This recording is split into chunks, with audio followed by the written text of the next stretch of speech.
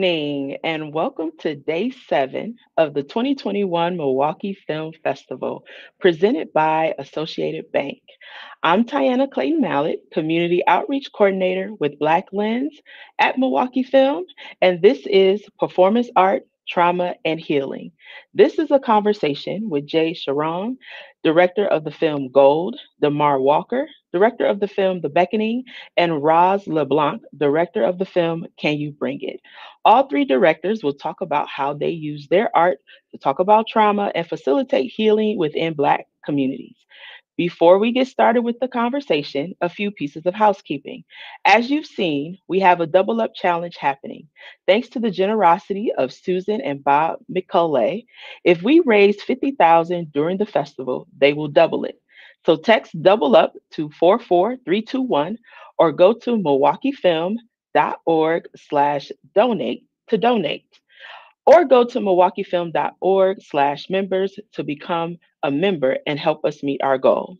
Milwaukee Film couldn't do what we do during the festival as well as throughout the year without the support of our members. Members get access to free films throughout the year, discounts on tickets, passes, and more. Plus, our members keep the nonprofit Milwaukee Film going. If you think that sounds appealing, join us. If you are already a member, thank you and help us spread the word. To see our full slate of events and films, go to milwaukeefilm.org slash MFF. And remember, wherever you're watching this panel, drop your questions and comments in the chat or comment section, and we will pull them into our conversation. So, in addition to following Milwaukee Film, please make sure you follow Black Lens on Facebook, Instagram, and Twitter. Now, let's get started. I introduce to you Jamie Montgomery, our facilitator for today's conversation. Thank you, Tiana. I'm very excited to be with you all today.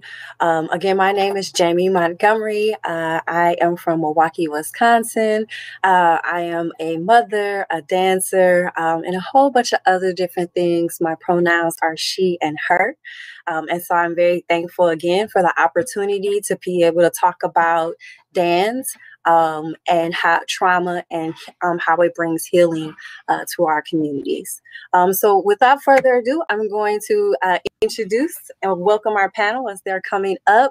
Um, and so we're gonna, so we have, as Tiana mentioned, we have Jay Sharon, Roz LeBlanc, and Damar Walker joining us today. I'm going to turn it over to Roz to introduce herself and tell, tell everybody about you. Hello, thank you, Jamie.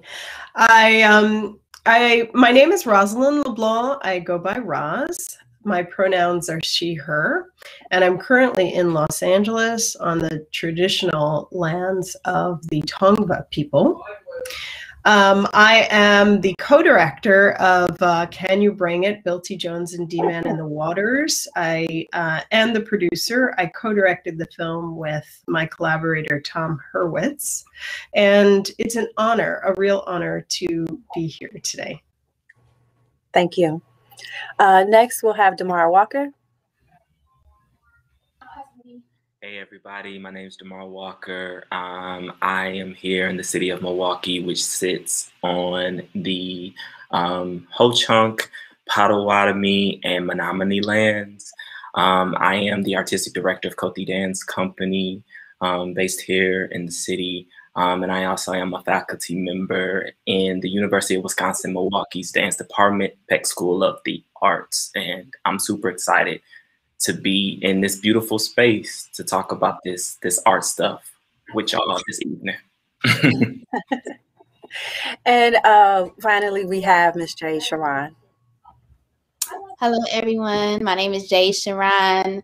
Um, pronouns she, her, and um, I am currently on the traditional lands of the Lenape people in Brooklyn, New York. And I um, am from Milwaukee, Wisconsin, a choreographer, filmmaker, assistant professor at Medgar Evers College in Brooklyn, New York. And I'm excited to be here to talk about art and um, artwork tonight. Thank you. And I neglected to say that I am the uh, associate professor and chair at Loyola Marymount University. So we're all three dance educators. So I just wanted to throw that out there. yes, yes. Excellent. All right, so this is a conversation. Go ahead, Damar. I said, I forgot my pronouns. I go by pronouns he and they. Look at us. Right. A conversation. We're going to keep it light and easy. Please, if you have questions uh, while you're viewing, uh, feel free to put them in the chat. We'll bring them into the conversation as we're moving along. Um, so, just to start out, um, as Black dancers, you all decided to create films. And so, if you could talk about what inspired you to create the pieces that you made. Yeah, that's the question. What inspired you all to create the uh, pieces that you made? Um, anybody can start. okay. Should I start? Okay, you said okay. okay, I said I made the first sound. Yeah. Um, so I danced with uh, the Bill T. Jones Arnie Zane uh, company in the 90s. And um, I uh, prior to that, when I was 16 years old, I was at the American Dance Festival as a young dancer. And I saw this company I had never heard of before uh, perform this piece called D Man in the Waters. And that was in 1989. And I absolutely fell in love with the dance. I had never seen a dance like that before, and I had never seen a company like that before. It was the Bill T. Jones Arnie Zane Dance Company. I had never heard of them, and I, I my mind was blown. And I kind of made this decision that I wanted to be a professional dancer so that I could do that dance. And um, later, when that dream came to fruition, and I actually ended up in the company and um, had the great fortune of performing many dances with D-Man in the Waters being one. I what I really appreciated about the piece was that um, it, as a dancer, it took you through this experience um, a 40 a 40 minutes of this kind of grueling almost a gauntlet that you go through as um, a dancer. And the dance having been made in 1989 at the height of the aids crisis it really embodied um, an aspect of what it takes to survive that was so urgent and so immediate at that time. And later as an educator when i started restaging the piece on uh, and this is now 20 25 years later when i started restaging the piece on various students around the country i realized that absence of aids from the discourse had left these students without a way in to understand the urgency and the vibrancy and the vitality of that dance and I was looking for a way to kind of, at first, maybe demystify the dance a bit and crack it open and say, uh, and, and allow students to understand why that dance was so critical and why it was so important that it was made at the time that it was, and how then to translate the emotion um, into a new time period. So that was the initial uh, inspiration to to make the film, but quickly it blossomed from there um, into a story that was much more expansive than just this uh, a film for the students. Um, and maybe as we go along, I'll unpack that. But for now, I'll say that's where the inspiration was. Excellent. Thank you. Jade, I guess I'll go. Uh, yeah, so you know, I I think looking back on my life and always wanting to be a dancer, I was always inspired by by film and specifically what dance has done um, with film. Like I remember, oh gosh, I'm about to tell my age.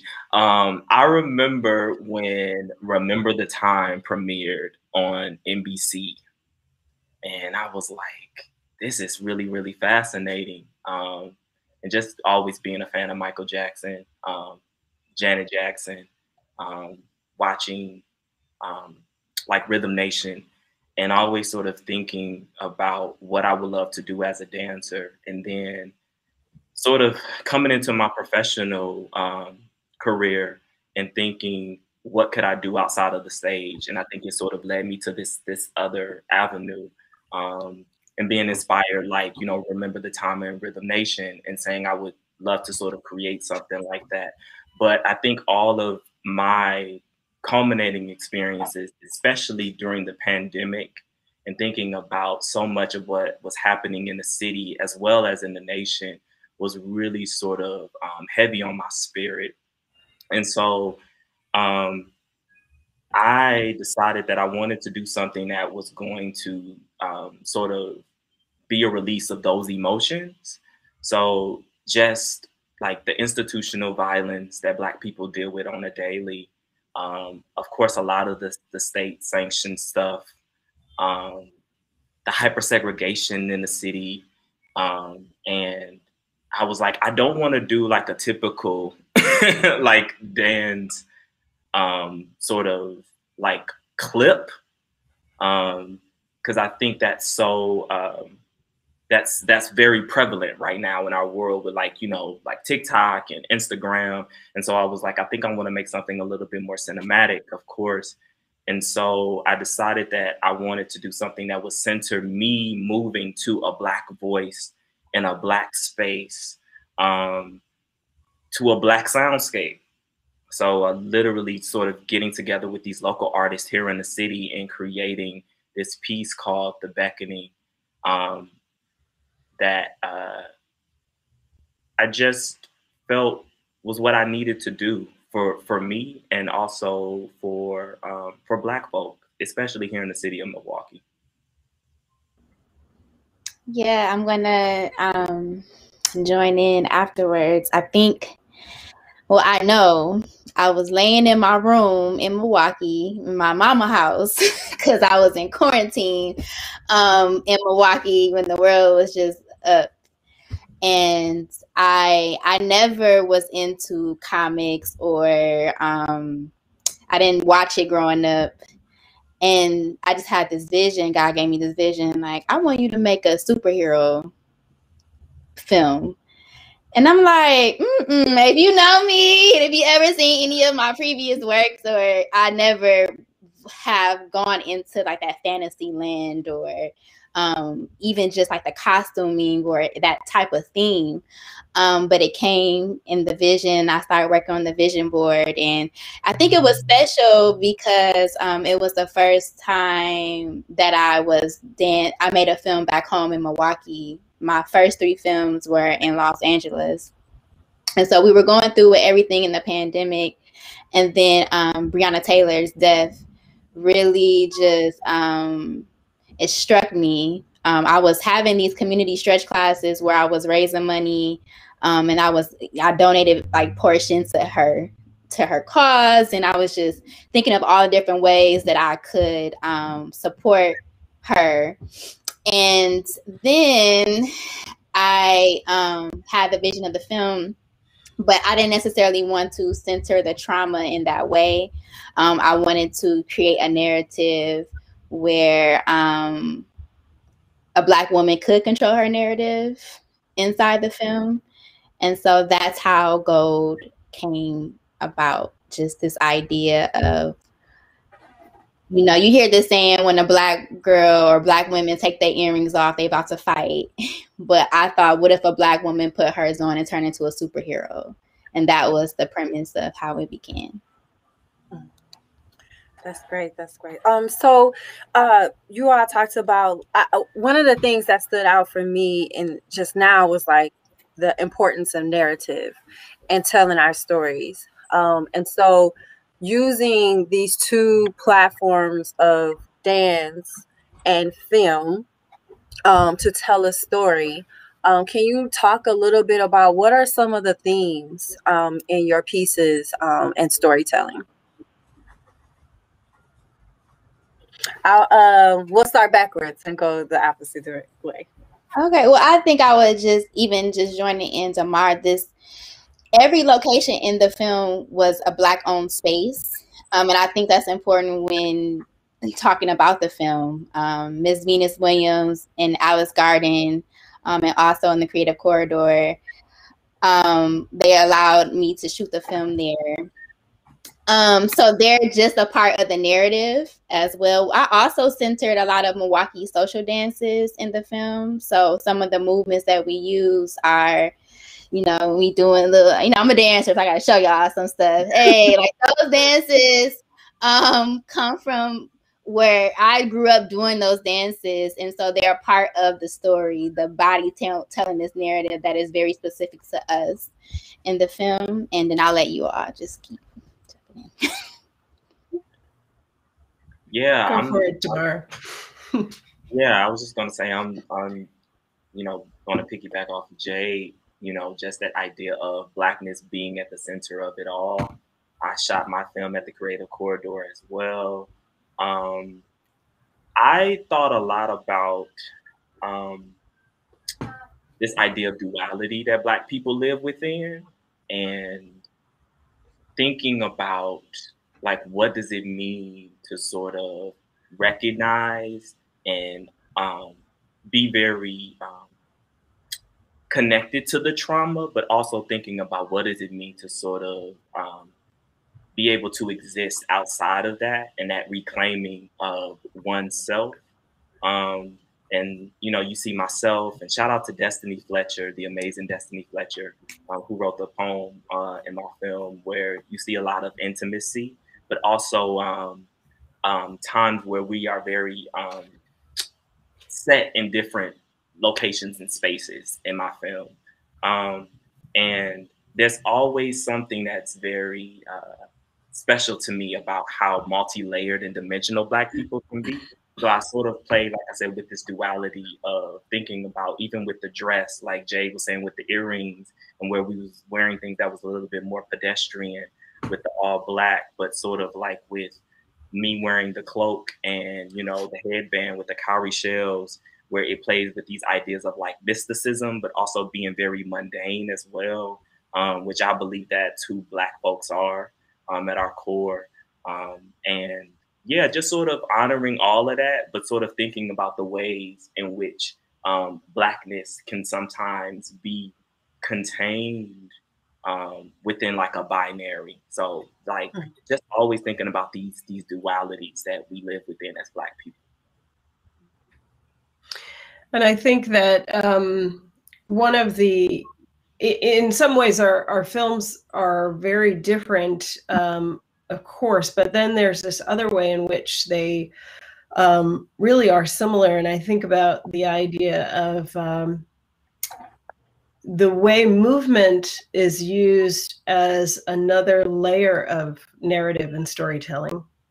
And um, and also how movement operates in in the film. Like that's definitely a theme that uh, my collaborator tom and i really had to dissect is how how are we going to capture this dance? In our case it was a dance that had existed that you know exists and is not generated from my own body right? So Mhm. it's it's established repertory. So we had to honor it in that way um, and in that way, it's different from uh, Jade and Damar's uh, uh, work. But at the same time, there was still that question of how are you going to film this in such a way that the movement is operative? You're not just um, capturing it, but you're but you're having it do its job, which is to viscerally move your viewer um, and that's that's always the job of the choreographer you know and of course in live stage production but it's also the job of the director choreographer on screen. And it's a much harder job to move to viscerally connect to your audience. Mhm. and so i think that the, that is definitely a theme um, that was a theme for the making of ours and and a theme that i feel like i saw as a viewer in the other two films um, and the other aspect of this that I think is really um, pertinent to the three of our films is the idea of location. Um, and I feel like uh, Damar and, and Jade, yours in a way, location is so integral to the experience of watching the film. But it, I couldn't help but be reminded of um, a quote by the poet Claudia Rankine. Um, and I'm not going to do this verbatim, but I remember her talking about uh, an aspect of being Black and saying, There's no aspect of my private life that is not affected by the personal, the, the political life. There's no aspect of my personal private life that is not affected by the political life. And that's that's a real truth of what it means to be black, you know, in America. And so and so again, that's a location too, you know, private versus public, private versus political and and the fact that that in shooting D-Man in the Waters and telling Bill T. Jones's story through that through the dance and through the film, that there's no aspect of his personal life that is not affected by the political life, and that's integral to understand if you're going to do D-Man in the Waters, if you're going to shoot it and and and shoot it well, and if you're going to dance it and dance it well, you have to understand the political that's deeply embedded in the personal. Um, so yeah, I saw those themes um, in all three of our films, even though our films are really different, which is kind of amazing that it has that similarity. Mm-hmm. Yeah, that's good. I was uh, as I was uh, listening, one of the the concept of the duality, um, the public versus private, you know, um, these kind of parts of ourselves. And I think as Black people, you know, Damar, you said this, you know, or or uh, alluded to it a, a little bit more around, you know, we have this extra layer, the duality. So we everybody got public and private life and uh, or or uh, public and political. Um, but as Black people, we have this extra layer that um, sits on top. Um, and so, you know, so there's that piece but then there's also you know the concept that you were talking about Roz around uh, embodiment right? And so there's this part this process that you go through um just in general as a dancer as you're beginning to, preparing to perform a piece any piece you know a choreographer you know um sorry a choreographer lays work on you and and so you you get it technically and Roz in the in the documentary there's a part where it's like okay you got it technically it's beautiful. You perform it well, you know, but I don't feel it. You know, you talked about it being visceral. I don't feel it. And so, uh, can you all talk and about the process of creating the piece, you know, but then also move. And I, it can be a little hard because it's so personal, but like you got to still embody it. You know, you keep working on it, keep working on it, and gets to a point where you, the heart and the spirit of the piece has to come through just as much as the of the movement. That's where people feel it, you know, and then and then the movement continues to like tell the story and take it on. And so, can you talk about a little bit about your process of embodying the work that you created, um, and what it was like for you to to move from idea and concept to you know actually putting you know getting it on screen and and having the vision that you had in your mind come through actually come through in the work which doesn't always happen should we go in reverse order again yeah. well, whoever everybody doesn't have to answer you know it's a uh-huh. conversation we're trying to get That's to the true. conversation yeah Y'all gonna make me have to act like I don't want to. I don't want to act like baby. no, as far as embodying, so usually as a choreographer, I don't always like to be in my own work. Like I like to be able. It's hard for me to choreograph and then also perform because when you do perform, it's a different process of being able to get into the connection.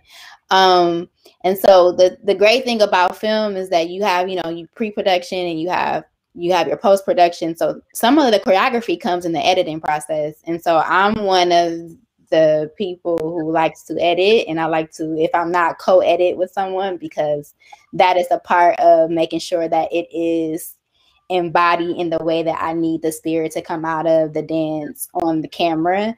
Um, I think the beautiful thing about live performance is that the, the body is problem solving live. Like you mm. see the body going through its process. You see the leg shake and holding that releve and that hinge or whatever, you see it, but on film, there's a distance.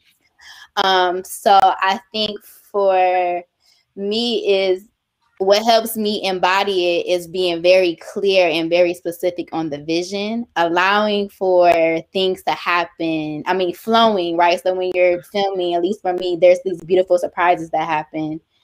And um, you have to just, I think what keeps us being a dancer and then being behind the camera or working in film is that we understand rhythm we understand flow and we understand how things need to go into the next scene um, because of our sense of time. And so I think I use that as a tool when working in film and making sure that the the vision and the message is embodied.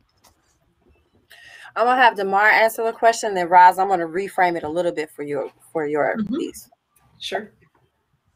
Yeah, I like that idea um, that Jay mentioned about problem solving. Um, you know, film is different because you know you have the opportunity to you know um, depict it in in which way you feel is best to um, and what is true to your vision. Um, but I actually started working with um, Destiny, the poet, in the film, and we literally we had known each other through um, another um, program that we were both a part of, and we caught up first and foremost. It was literally like a four-hour meeting where we just like talked and like just really just was able to sort of reconnect. And I think that in itself was sort of the foundation and the launching pad for us to really get into our ideas of what it is we wanted for the film.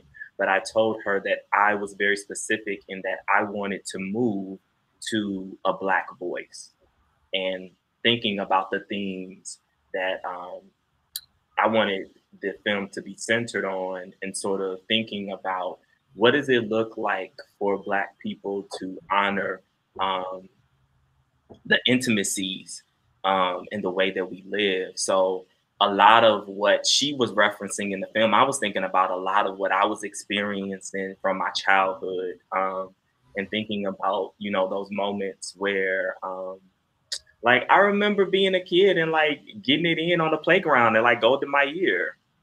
Um, elementary school. Um, shout out to the folks who who went to Golda um, in the city. Uh, you know, I think about um, like the first time where I was at my grandparents and seeing a black man being arrested in front of my eyes. Um, I think about, you know, most recently when, and you know, Jay, she probably can vouch for this, like being in Africa and dancing, you know, at the Atlantic, at the beach on the Atlantic Ocean. Um, so, you know, that informed a lot of my uh, my movement in terms of um, you know, the way I sort of infuse like a lot of like jazz inspired and blues movement, but also like a lot of the West African um, and some of the hip hop inspired movement and thinking about how I naturally like to infuse a lot of my influences. So that was really, um, really what I wanted to sort of encapsulate in terms of how I wanted to embody what I wanted to do um, movement wise with the film. And, you know, and like I keep saying, Destiny was just coming along for the ride. And like, it was just amazing, the, the whole process of it all. Um, and those special moments that um, you don't um, imagine to sort of come the way that they come. Like, I remember there was a moment where uh, my cinematographer, um, we were on set and the camera just went out of balance. And so we, you know, we went to review the footage and I was just like, I really like that. Can we keep that in the film? And he was like, Are you sure? And he was like, I'm not a dancer, but like you want to make sure that like your body is. And I was like, no, because I think it it it, it adds to the dimension of what it is I'm trying to convey in terms of, you know, what it means to be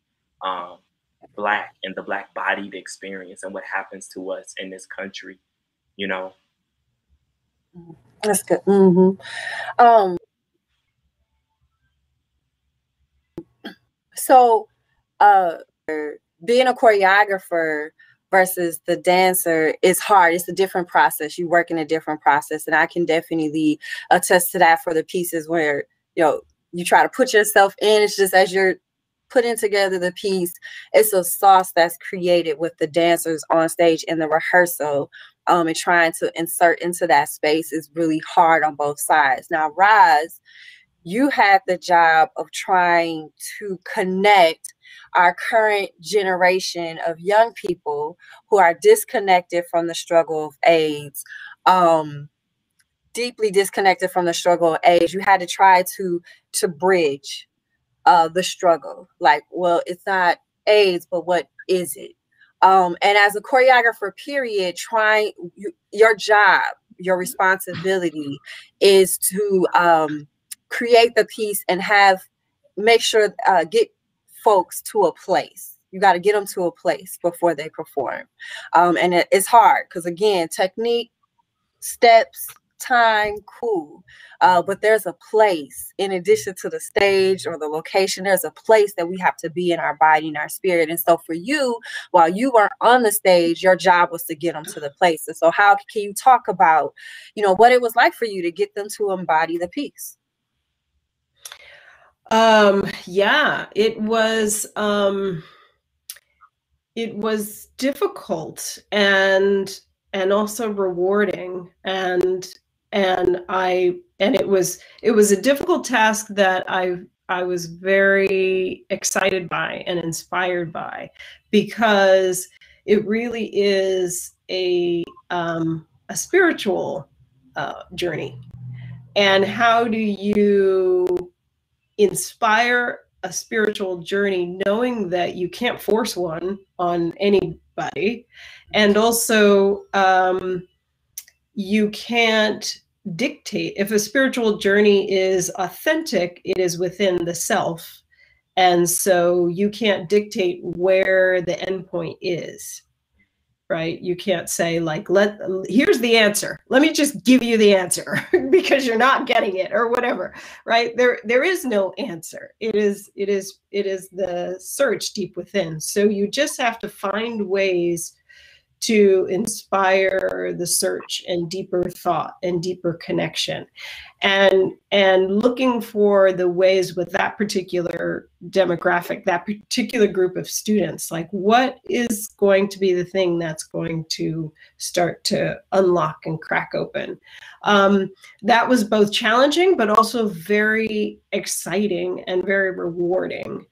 Um, and in terms of the fact that I also had my own muscle memory of the dance, and um, I it was that was both. Uh, I think it was a tool in a way for the ma- in order to thinking now as a as a on the filmic side, it was a tool to be able to understand how to uh, first of all the storyline of the of the film like like that trajectory or what what jade was talking about about the rhythm of the editing and what what needs to come next and what we need to know. There's a there's a certain embodiment on that level that as a dancer you just if if if it is a danced story then there's a certain amount i don't know maybe jade and Damar um, would either agree or disagree but there's a certain amount that you feel it right? You just I agree. Like, yeah. yeah. and um and I'm not a film. I, I do not consider myself a filmmaker because this is the one and only film I've ever made. I was compelled to make this film. I, I I didn't necessarily see a life in film for myself, and so it was really about talking to Tom, who brought the filmic expertise, saying this is what I remember. This is what my body knows. This is what my muscle memory is telling me. This is what this dance feels like.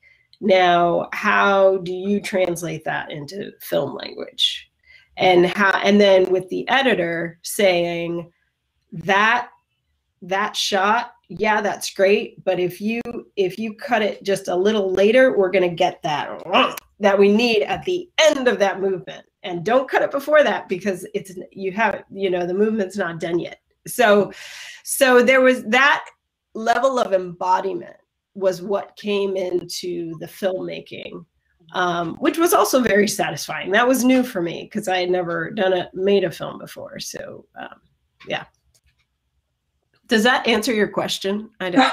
yes, of course, of course, okay. yes. It's not right or wrong. Yeah, no. That I mean, I was I was just sitting in it thinking about. I was just thinking about um, uh,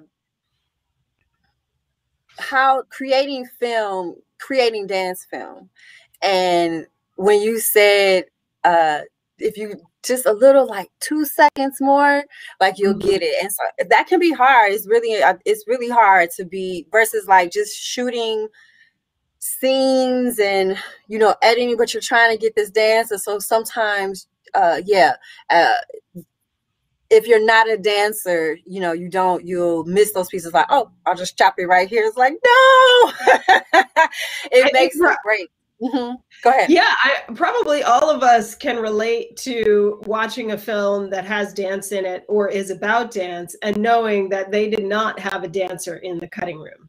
Mm-hmm. Right? Like mm-hmm. you can tell mm-hmm. because it is just that, like, ha- the way movement operates and the way you cut movement and all of that stuff. I mean, we had an amazing editor, Ann Collins, is just great. But the fact that she wanted me in the editing room as well you know with tom mm-hmm. saying okay how is the movement you know I, i'm curious with the two of you how you felt about the editing process. editing i learned to edit because i realized you know like no one is going to spend as much time as I am and going to be as committed as I am to the vision. I mean, you can pay paying top dollar if you're getting really, really good editors because it takes a lot. Editing is a long time. I don't really edit for other people because it's just it's very time consuming. But um I don't think editors get enough credit because I think that's where the real the, the filmmaking. I mean, they all work together, but the editing and how they see the story is really important and as dancers that's where that there there are compromises though. I think there's a beautiful thing with working with people who aren't dancers because they see a different they have a different eye than mm-hmm. you. And so sometimes it's like a beautiful marriage of the two when they have their ideas and you have yours. But you know like well this clip is cleaner. Like the dancers look clean on this. Like the, the leg is is here or whatever you need or not. And um, so I think it's, it's important. I would just recommend, you know, if you're not going to edit, to be in the editing room because, yeah. That's good. So, uh, Damar, did you want to respond? Yeah, I was just going to say shout out to my folk who were extremely patient with me during the editing process. Um, because I I can definitely relate. You know, where I had those moments where I was like, that's that's not cute. We're not putting that in the film. Um, but what I was, what I really loved was think, really drawn into a lot of my theater background. Um, I was a theater minor in college, and really thinking about that idea of the beat, right, in in theater, and allowing the um, film to have that breath and not being so consumed about just doing a whole bunch of movement. Um, and I love those moments in the film where I was just able to have a moment with the camera, or more so, the camera having a moment with me. Um, even with Destiny, like the moment where she's walking and she's sort of coming towards me, um, towards the end to sort of greet me. Um, those things were really, really cool to add that extra layer, you know, that we talked about um, to the movement. But yeah, you know, I'm with Jade. Like, shout out to editors. Um, it's a process. It is truly, truly a process.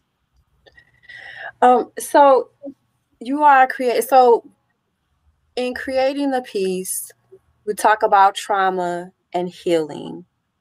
You know, when people see your films, you know, what do you want them to walk away with? What do you want them to feel, experience, understand whatever what do you want them to walk away with when they when they finish seeing beckoning gold the beckoning gold and can you bring it I would love them to walk away with the feeling of exuberance and vitality and like, we're going to be all right. We're going to make it. Like, that's what the dance does at the, uh, you know, and if anyone has not yet ever seen D-Man in the Waters live, it is a dance you need to see live in its entirety because it does that. It does that consistently and reliably to the audience at the end when the when the person is thrown up in the air and the lights go out. You know, people you just are compelled to rise to your feet. And if the film can capture that sentiment of, you know, I love you, we're gonna make it, we're gonna make it through you know or let me let me call my mom haven't talked to her in a while you know just just that sentiment um, then we've done our job and and and and I'll be happy. you know, I'll say the same thing. Like we're gonna be all right. Um, black folk, you are inherently worthy, even when the world tells you that you aren't. Um, and I also will say that for black people, I want them to understand that it's okay to feel.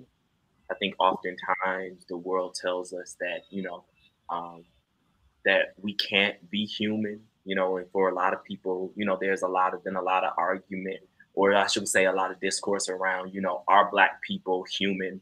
Um, but whatever that means for you, that we definitely have emotions and we have the permission to feel, which leads me to the idea of um, there's an acknowledgement that comes with um, understanding and having to sift through one's pain. And ultimately you get to determine what you get to do with that as a black person. Um, and you know you can make the lemons into lemonade you know you can do all of those those things um, and black folks we we we've been doing it for such a long time and i think that's the beauty of art as a whole the way that it sustains us and it allows us to um, imagine, radically imagine. And um, yeah, that's what um, I feel dance does. And um, with this sort of um, avenue, dance film, you know, this was my first film as well. I, I think about how important that is to center, you know, um, our experiences and our stories with it.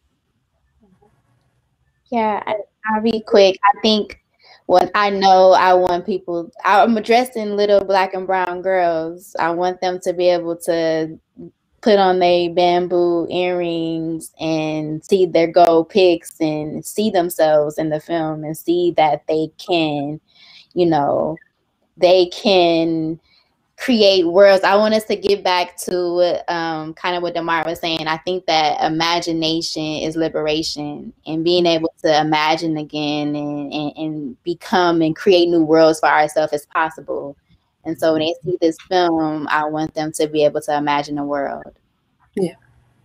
Yeah. Thank Can you. I, Go ahead. Uh, sorry, can I just add one thing that to this that I didn't say? But I also want the world to know who Bill T. Jones is, because what Jade and Damar were just saying about the imagination and telling our stories. Bill T. Jones has been doing that for decades, and and he is one of the greatest tellers of Black stories, of our stories, of human stories that we have. And so if he could just, you know, everybody in the world needs to know who he is. Sorry. Yes. Go ahead, no, Jamie. No, I just had to throw that in there. My shout no, out to Bill. no, it's a great example because I think, you know, a lot of sometimes even us as black people, uh, but period can be put in a box, can be, you know, think where it's homogenous, whether we believe it or the world believes it. And so I appreciate each and every one of you all telling your story. I think representation is extremely important. Black Lens and all the other different um, spaces in Milwaukee Film Festival that allows uh, groups to tell their stories from their perspective. It's all different, but there are similar threads. Um, around and for us dance you know is life dance is healing dance is an opportunity to be able to tell our stories and using film it's just another opportunity. You may not be on the stage to see it but you have it all across the world and it lives forever. So thank you all for being brave to do your pieces. Thank you, Jade, for doing to producing this work in the middle of a pandemic. Uh, for everyone else who is viewing, you have an opportunity to go to the film festival, check out these uh, films. Um, uh, you can that's on the website uh, there's plenty of other panels and discussions that'll be taking place and so uh, take advantage uh, check out go by jay sharon check out Beckoning by Damar Walker, and check out Can You Bring It uh, by Roz LeBlanc. And thank you all again so much. We out. Bye. Toodles. Bye. Thank you so much. Thank Bye. you. And thanks, Glashada. Bye. Thank you for the interpreters. Shout out to our interpreters, our black interpreters. They were holding it down. That's right. Thank you. Thank you. Bye bye.